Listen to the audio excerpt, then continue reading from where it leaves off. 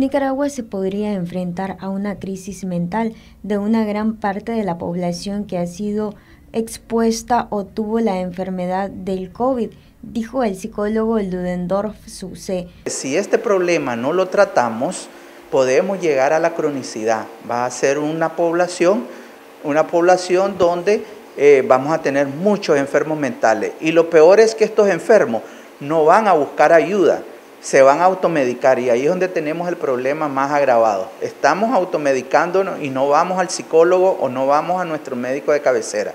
Así pues que para tratar estas enfermedades mentales que han quedado después de, la, eh, de padecer la enfermedad, eh, usted tiene que recurrir a ayuda profesional. Van a aparecer algunos síntomas, por ejemplo, como insomnio, dolores de cabeza, eh, también hay manifestaciones orgánicas como diarrea, eh, puede también aparecer este entumecimiento de las manos.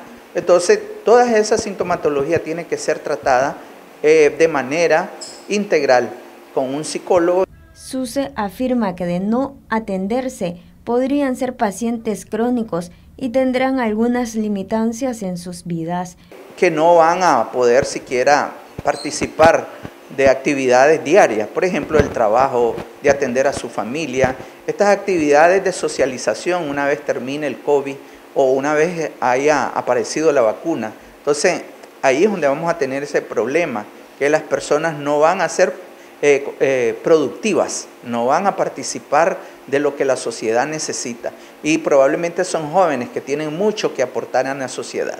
Noticias 12, Darlene Telles.